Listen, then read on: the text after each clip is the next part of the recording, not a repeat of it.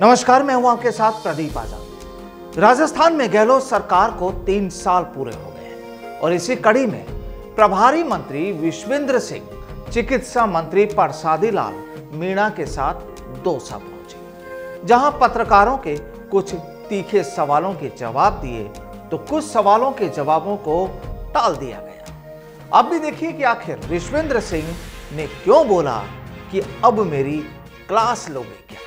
देखिए ज़िले में पेयजल की विकट समस्या को दृष्टि रखते हुए कुल एक हज़ार सेवेंटी नाइन गाँव में सात सौ सैंतालीस गाँव को ईसरदा बाँध से पेयजल उपलब्ध कराए जाने हेतु चार हज़ार अट्ठावन पॉइंट बारह करोड़ एवं जल जीवन मिशन के अंतर्गत तीन सौ बत्तीस गाँव को पेयजल उपलब्ध कराने हेतु चार सौ चौवन पॉइंट पचहत्तर करोड़ की योजनाएँ स्वीकृत की गई हैं। सबसे बड़ा काम तो ये है।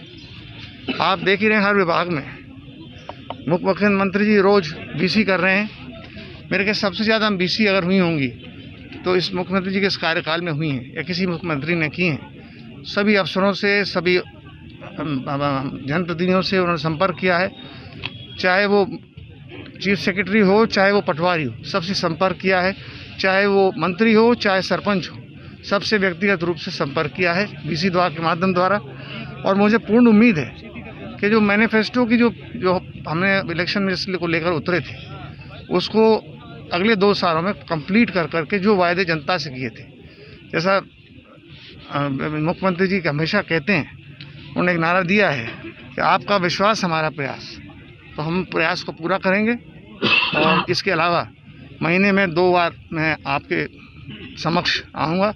और जैसा मैंने कहा, ये अजीब वो है संयोग के जो मेरी प्रिंसिपल सेक्रेटरी हैं मैडम गायत्री राठौर, वो यहाँ की प्रभारी सेक्रेटरी भी हैं। तो हम लोग मिल कर के, हम तो रोज़ मिलते हैं ऑफ़िस पे तो अपने यहाँ की जो ज़िले की लोकल और समस्याएँ और जो जनहित के कार्य हैं, उनके बारे में विचार विमर्श करेंगे और उनको क्रियान्वयन करेंगे। आप खुद देख रहे हैं कितने कार्य हो रहे हैं। धरातल पे तो कार्य देखने चाहिए। और अगर इतने ही अगर हमारी सरकार काम खराब कर रही होती या वायदे पूरे नहीं कर रही होती। जैसे मैंने कहा कि एक तीसरे नंबर पर नहीं आती बीजेपी चुनाव में और एक जमानत जब्त नहीं होती।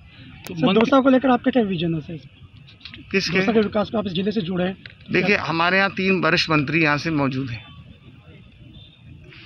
दौसा ज़िले से। इनके सहयोग के लिए आया हूँ मैं। इनसे भी विचार विमर्श रहेगा। हमारी रोज़ मुलाकात होती है। कहीं ना कहीं चाहे कैबिनेट मीटिंग हो चाहे कहीं और हो।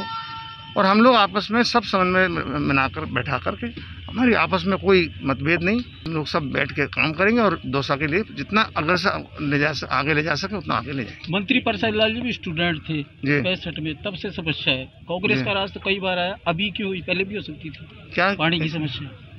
अब देखिए ये समस्या हर चीज़ का एक समय आता है। और हर चीज़ का समय आता है। अब समय आया है धन संसाधन उपलब्ध कम है, क्योंकि बीजेपी सरकार पक्षपात भी कर रही है राजस्थान के साथ। और जनता के लिए पक्षपात करना मेरे ख्याल से सबसे घिनौनी चीज़ है। इसको नहीं होना चाहिए। जनता को अगर लाभ मिल रहा है तो बीजेपी कार्यकर्ता को भी मिल रहा है और कांग्रेस कार्यकर्ता को मिल रहा है। पानी अगर हम एक गाँव में ला रहे हैं तो उसको न, सभी जाति के, सभी धर्म के, सभी पार्टियों के लोग पियेंगे, ये नहीं कि अकेले कांग्रेस पार्टी के लोग पियेंगे, या किसी पर्टिकुलर जाति या धर्म के पियेंगे।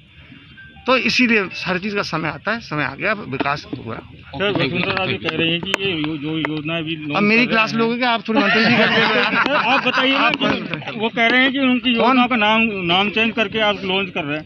इसका वसुंधरा राज बीजेपी की जो योजनाएँ थी उनका नाम चेंज करके आप लॉन्च कर रहे हैं सर। नाम उनकी योजना उन्होंने उन योजनाओं को मैं किया क्या? उनसे आप पूछिए इस बात को। उनके राज कार्यकाल में क्या हुआ?